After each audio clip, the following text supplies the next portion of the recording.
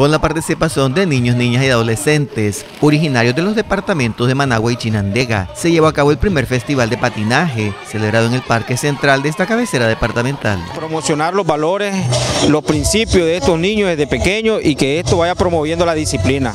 El deporte es una recreación que mantiene a los jóvenes fuera de algunos algunas malas actividades que se pueden hacer. Pues la verdad es que está muy agradable porque todos andamos conviviendo, los que no nos conocíamos y los que estamos hasta ahora aprendiendo y estamos comenzando a esto, pues nos está yendo bien, gracias a Dios.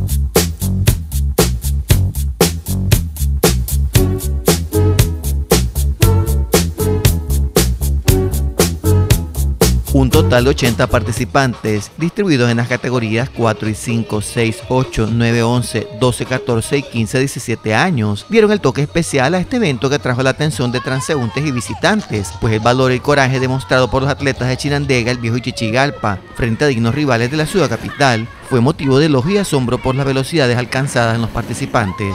En conjunto, articulación con la Escuela de Patinaje Rubén Darío, hemos trabajado desde el Momento Deportivo Alexis Argüello para que esta actividad se realizara el día de hoy y hemos visto una excelente participación por parte de jóvenes y niños también. Una disciplina muy importante porque viene a recrear a los jóvenes y también a demostrar que es una disciplina a futuro.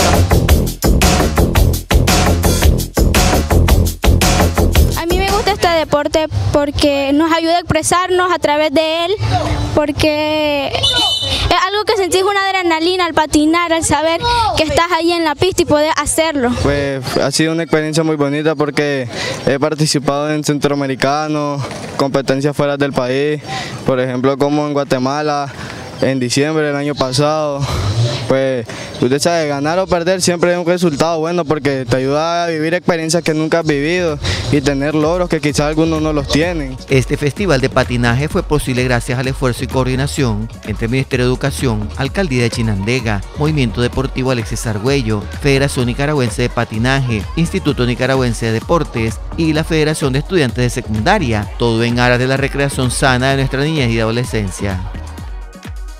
Desde Chinandega, Jair Carrillo, Multinoticias.